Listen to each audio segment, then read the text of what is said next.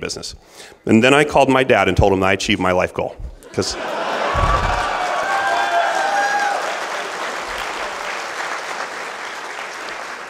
so, um, inside Wizards of the Coast, uh, as you can imagine, there was a lot of dispute about how to fix the D&D business. And one of the big problems with D&D is that it had kind of split into a whole bunch of different games over the years. And TSR, in an attempt to try and keep the revenue flowing, had published a lot of products every month so that they could get as much revenue as possible from the people that were still buying Dungeons & Dragons products. And that was a bad strategy. Um, interestingly enough, it kind of mimics some of the things that, that, White Wolf was doing at the same time, although White Wolf was doing them for slightly different reasons. Uh, TSR took its core franchise and broke it up into a bunch of bits and pieces. White Wolf took a really good franchise, The World of Darkness, and managed to sell it a lot of different ways. And even though those things kind of look the same, they actually have different results, and they were probably different businesses in a good sense, not a bad sense. So uh, it was pretty clear that we were going to have to do a new version of Dungeons and Dragons, and that the new version of D&D needed to be the unifying thing that was going to bring all the people playing all the different kinds of Dungeons and Dragons back to the table. But the business is in really bad shape. We didn't have a lot of time. And frankly, it was probably impossible for one small group of developers inside Wizards of the Coast to figure out all the different permutations of all the kind of games that everybody who was playing D&D wanted to play. So I came to a meeting one day and I said, screw it, let's just give D&D away and let people do it any way they want to. And everybody looked at me and said, you're fucking crazy. Um, and I said, yeah, that's who I am. I'm the guy who doesn't think outside the box. I'm the guy who doesn't think there is a box. Um, and what I want to do is I want to take some of the stuff that we're seeing in the free software movement, and I want to write a license that's going to let people use Dungeons and Dragons pretty much any way they want to. And if they want to sell it, they can sell it and make money on it. If they want to give it away, they can give it away. And when they come up with really good ideas, we're going to take that stuff and put it back into D&D so that D&D will get better over time. And that was called the Open Gaming License, and we did that. And it worked really, really well.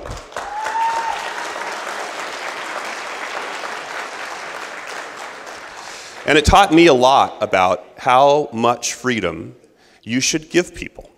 And that answer, in my opinion, is all of the freedom. You should just give them all of the freedom.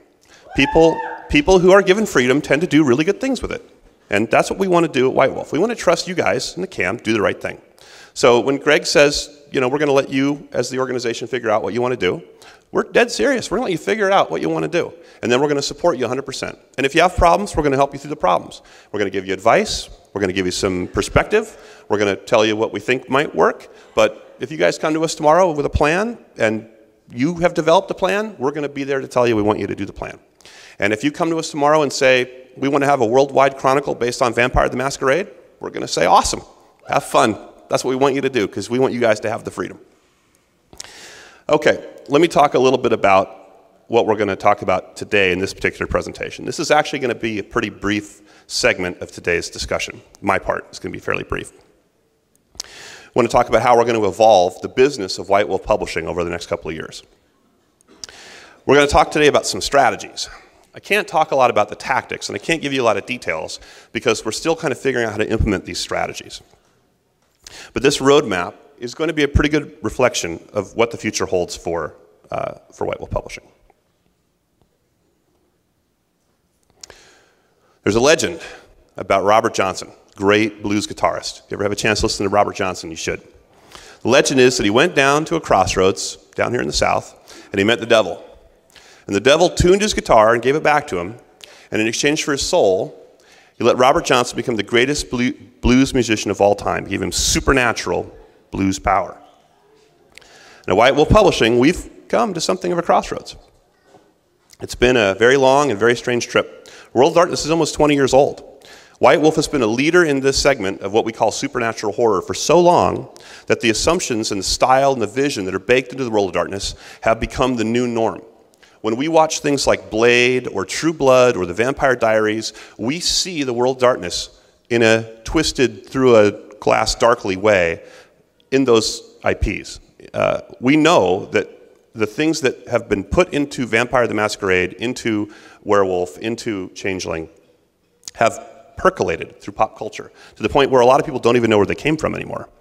Um, and that's not a good thing for us as a business for obvious reasons. When people don't know that you're the creative source of something interesting, they don't tend to buy your products. So we need to work on fixing that problem, but we also need to work on figuring out how to take our own business, our existing business, into the future. The tabletop role-playing game business is not doing very well. It's fading away, actually. In 1997, when I wrote the business plan for Five Rings Publishing, we assumed there were 5,000 retail stores in the United States and Canada, and that was based on a lot of really good information we got from other companies in the publishing business, including White Wolf, who were very open with us at the time about what their numbers were. When I was at Wizards of the Coast in the year 2000, based on market research studies we did, we estimated that that number of stores, full line game stores, stores that carried lots of different kinds of gaming products, were about 2,000 stores. Today, there's approximately 750 of those stores left. And there are more stores closing than there are opening every day. This is not a healthy business. However, the World of Darkness has always been a lot bigger than just tabletop role playing games. Uh, it was a pioneer in uh, live action role playing, obviously. Camarilla is the most vital and visible part of that legacy business. And there's groups, large and small, all around the world who use the World of Darkness to do LARPing, not just uh, in the cam, but outside the cam. Uh, and we've been successful about licensing our IP. Uh, there's been several successful video games. We've uh, put it into novels. We've used it for board games. And now that we've merged with CCP, uh, we're going to be evolving it again into the cutting edge of social gaming, the massively multiplayer online game. So White Wolf Publishing has a strategy to deal with the fact that the print business, the physical products business, is slowly going away. We went down to the crossroads, and we didn't meet a devil. We met a weird group of Vikings. They think like us and they drink like us, uh, and they're coming with us to the future. White Wolf, as a standalone company, just wasn't big enough to make the kind of changes that we needed to be successful to continue publishing role playing games and the support products. Uh, but now that we're part of a larger organization with a much larger pool of resources, we have what it will take to move that business forward.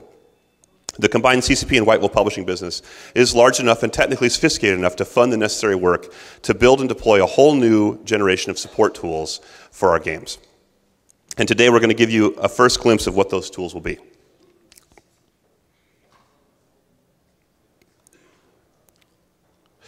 Just as the business of paper-based RPG publishing seems to be reaching the end of its life cycle, a whole new market is opening. We're still printing old school books, uh, but we've already begun thinking about and planning for an evolution to a digital future. One thing we are committed to is avoiding locking our customers into any specific platform or vendor. We're going to be continuing to target the PDF format as our standard means of distributing digital content for the world of darkness. Uh, we don't want to lock our users into uh, uh a platform like iTunes, where you have to buy products from Apple, then you have to play them on Apple, uh, um, you know, um, iPods both the Nook from Barnes & Noble, which is uh, here on the left, and the Kindle DX, which is on the right, both support PDF natively. Uh, it's too early to tell what the best ebook reader is going to be, and this is a area of technology that is evolving really, really rapidly. And we know that Apple's got something uh, in the closet that's coming soon as well. We don't know what that's going to look like, but I'm sure it's going to be pretty amazing.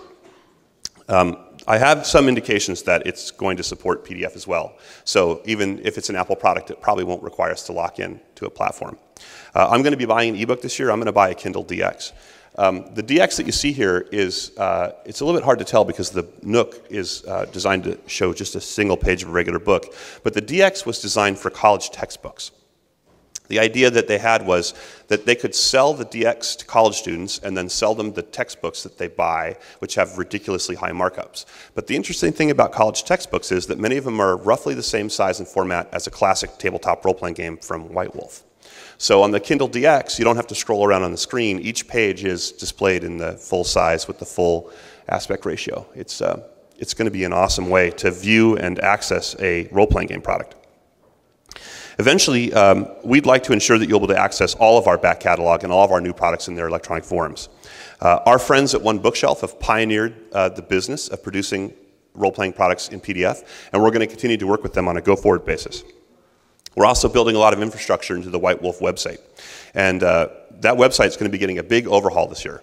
Uh, we're going to speed it up. We're going to strip it down so it'll have less confusing stuff on it. And we're going to use a new content management